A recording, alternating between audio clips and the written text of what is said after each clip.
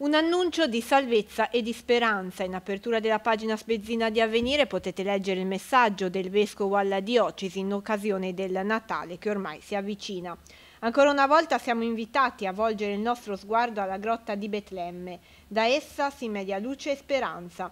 Infatti non si può non rimanere affascinati dal prodigio veramente grande di una nuova vita. Queste le prime parole del messaggio del Vescovo che potete trovare appunto integralmente sulla pagina spezzina di Avvenire. Il box centrale è dedicato ad una celebrazione che si svolgerà il prossimo 8 gennaio.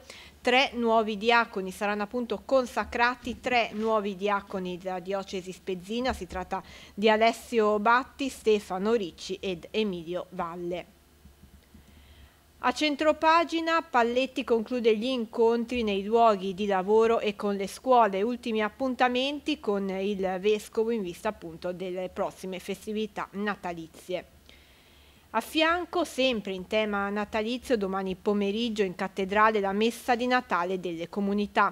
Appuntamento alle 17.30 nella cattedrale di Cristo Re, il vescovo Luigi Ernesto Palletti presiederà la messa di Natale delle comunità di Cometa e di crescita comunitaria.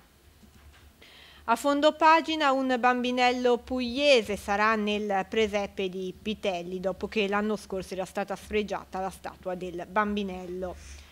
A fianco, mercoledì, il vescovo inaugurerà alle ore 17 la mostra di Natale degli artisti cattolici, la mostra degli artisti UCAI.